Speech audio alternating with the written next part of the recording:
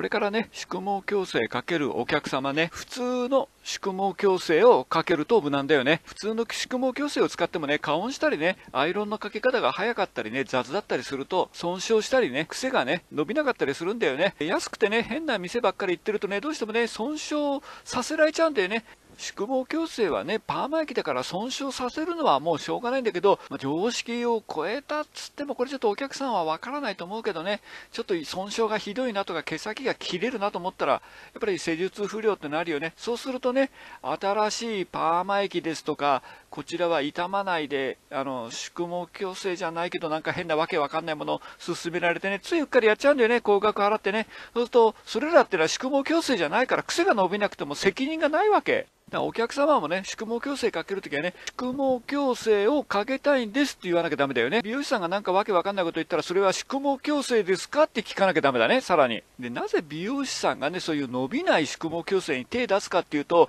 やっぱり施術が下手で、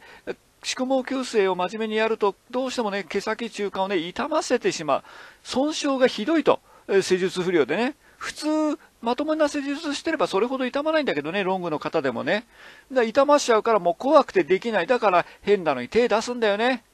こっちの方が痛まないですって。痛まないのは大体まっすぐになんないからね。でね、その日はまっすぐになってんだよ。それがたちが悪いんだよね。だからお客さんもね、その日帰るときはまっすぐだからね、わかんねえんで、1回シャンプーしてから、2回シャンプーしてから、なんだ、いつもと一緒じゃん、みたいにね。これはよく注意してね、これから宿毛矯正かける方ね、騙されないようにしてくださいね。はい、お疲れ様でした。